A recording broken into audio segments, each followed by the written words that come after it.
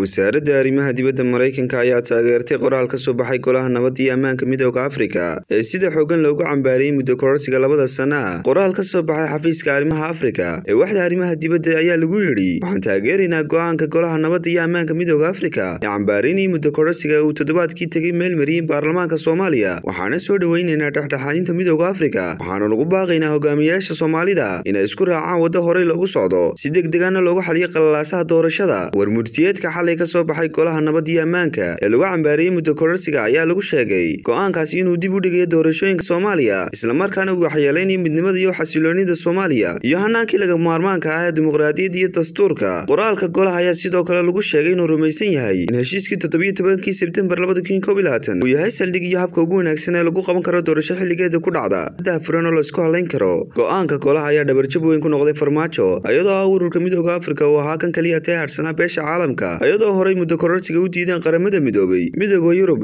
maraykanka iyo dhammaan dalalka yurub. Dowladda soomaaliya ayaan weli ka jawaabin go'aanka midooda afrika. Hase yeeshee dad siyaasadda falanqeeya ayaa sheegay in albaabkii ugu dambeeyey ka soo xidhmay farmaajo marka ay noqoto arrinta muddo kororsiga. Maxamed cali aadan telefishinka madaxa bannaan star t v